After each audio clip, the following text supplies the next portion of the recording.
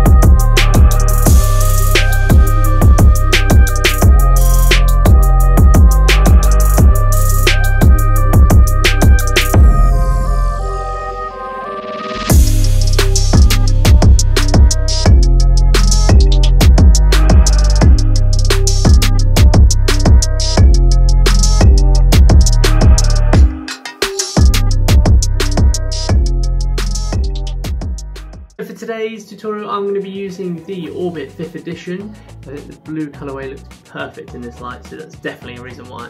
Okay so before doing this tutorial you're going to need to know one thing and that is a Charlier cut.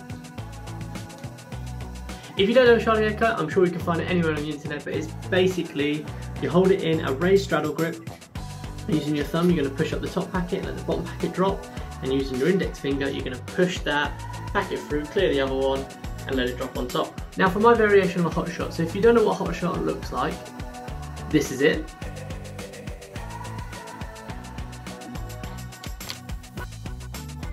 And this is my variation.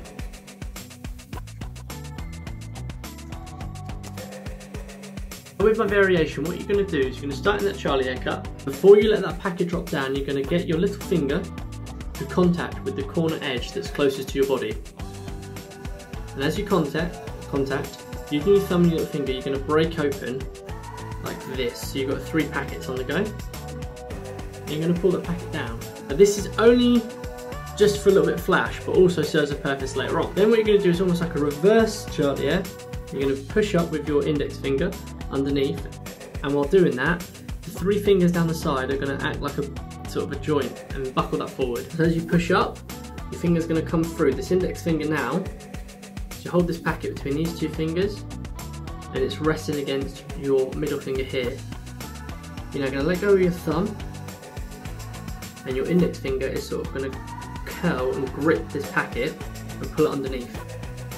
And in doing so, and having it still coiled underneath, allows for you to get into the flicking motion. So from here, all you have to do is extend your index finger out, and if you completely straighten it out, as you can see from there, it comes out as an angle and it's ready to go. Now the reason I said about the top packet having more cards on is the pressure pushing down from these allows the card to shoot out with a better trajectory. So let's try that. So I'm going to swap to my middle finger because that's what I normally use and I push out and as you see that card comes flying out. Okay, so from another angle, so that index finger extends and it takes the card out sideways. I'm going to swap to my middle finger just to pull it even further and as I do I just apply pressure by pushing up with my middle finger onto that corner pit.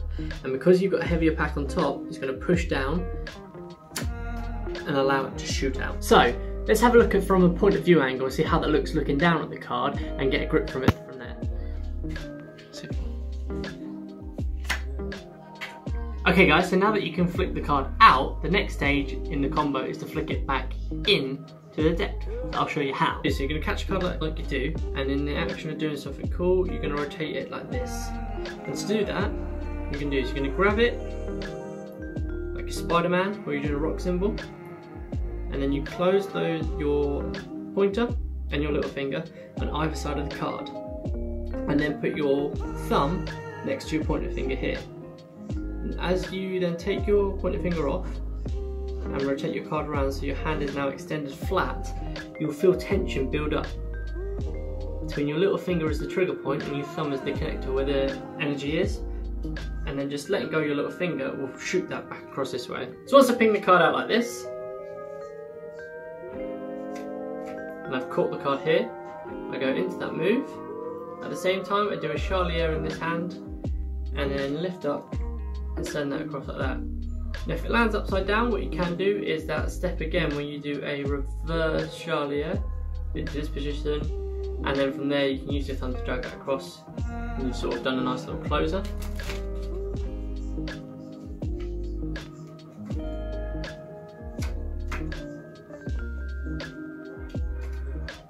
Okay guys, I really hope that tutorial was of some use to you. If you did enjoy it, like, subscribe and comment down below if this is something that you're going to use and I will see you on the next one. Bye.